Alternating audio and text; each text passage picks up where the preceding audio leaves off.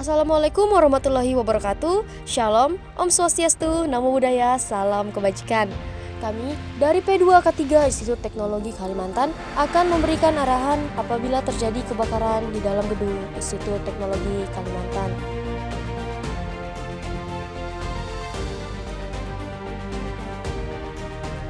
Ketika melihat api yang sedang menyala, jangan panik dan tetap tenang dan segera menjauh dari sumber api.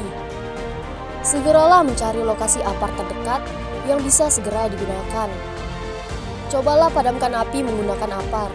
Pertama, tarik kunci pengaman atau segel pada apar. Arahkan selang ke atas dan tekan sekali tuas untuk mengecek tekanan sebelum apar digunakan secara penuh. Pegang bagian ujung selang dan arahkan ujung selang ke sumber api. Tekan tuas, kibaskan ujung selang pada sumber api secara perlahan sampai api padam. Apabila api besar dan tidak dapat dipadamkan menggunakan apar, segeralah menutup hidung menggunakan lengan Anda agar asap tidak mudah terhirup.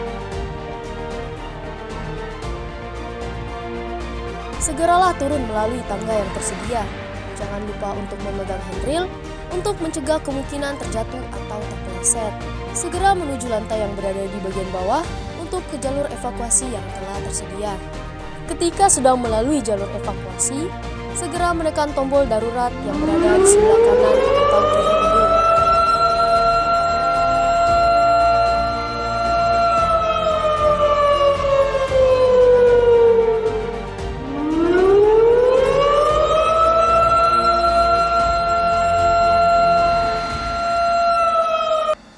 Demikian arahan prosedur keselamatan yang kami berikan. Mari selalu utamakan keselamatan dalam kegiatan kita sehari-hari. Sekian, terima kasih.